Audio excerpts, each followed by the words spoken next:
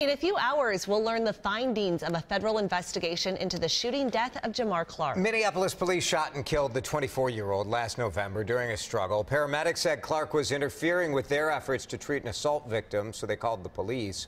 Soon after, officers Mark Ringenberg and Dustin Schwarze arrived. Clark was shot. It was just about a minute in between them arriving and the shooting. Ashley Roberts joins us from FBI Minneapolis. That's in Brooklyn Center. She has more on today's announcement. Good morning, Ashley.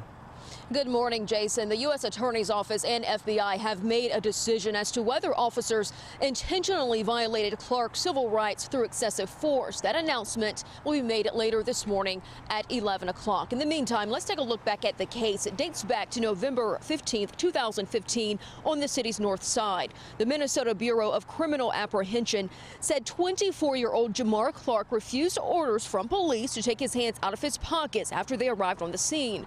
The BCA said said officers tried to put him in handcuffs, but he resisted. They say Officer Ringenberg got Clark to the ground, but Ringenberg ended up on his back on top of Clark, and there was a struggle. Ringenberg says he felt Clark's hand on his police gun, and that's when Officer Schwarze shot Clark.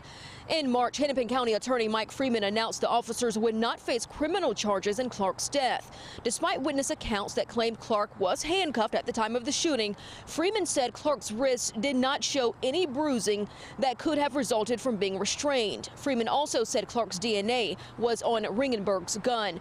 Ahead of this morning's announcement, Fred Bruno, the attorney representing Officer Schwarze, said that he doesn't know the results, of course, of the investigation, but believes his client will be cleared of any wrongdoing doing. The police union has also said the same.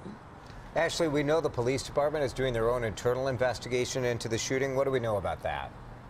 Well, Jason, once the federal findings are released, we expect much of the same with the Minneapolis Police Department in its internal investigation. Chief Janeé Harteau has said that investigation will examine if police followed proper protocol the night Clark was shot. Okay, Ashley, thank you. WCCO, of course, will have continuing coverage. A team of reporters working this today. We'll have that for you on air and online. All of the developments today in the Jamar Clark shooting.